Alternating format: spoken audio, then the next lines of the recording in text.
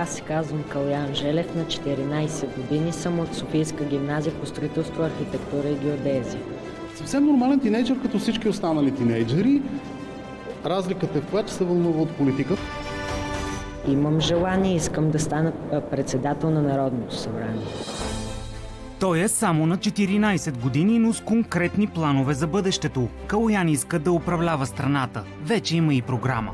Първо ще санирам училищата, ще санирам а, панелните блокове, ще оправя здраво, здравоопазването и ще успея да върна българските граждани от чужбина в България. Кой е най-големият проблем на нашата страна? Здрав, здравоопазването и економическата криза. Толкова не набляга на училището и на онлайн уроците, колкото на това да дебне парламента, да не говорим, че си връща пленарни заседания, за да гледа какво се е случило. Питайки го какво толкова го вълнува и той казва ми просто ме вълнува. Интересно ми е, ще си направя собствена партия, ще стана депутат и ще видиш, че след време ще стана председател на парламента. Шегувайки се с него, като му казвам, ти си готов журналист, защото вярвайте ми, той познава почти всички депутати поименно, всички министри. Аз като журналист не ги знам, той ги знае и ме информира какво точно се случва.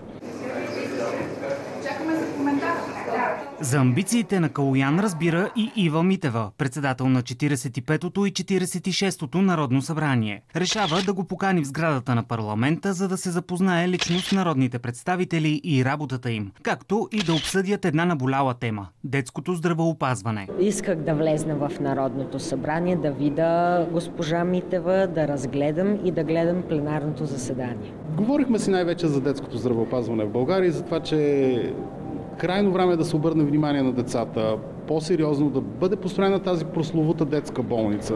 Ако децата ни не са здрави, ние няма да имаме нито економика, нито образование, нищо няма да имаме, даже бизнес няма да има.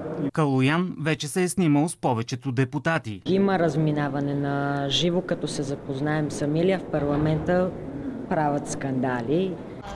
Но освен с законодателната, се е запознал и с новата изпълнителна власт. Снимах се с министър-председател Кирил Петков и министъра на финансите Асен Василев.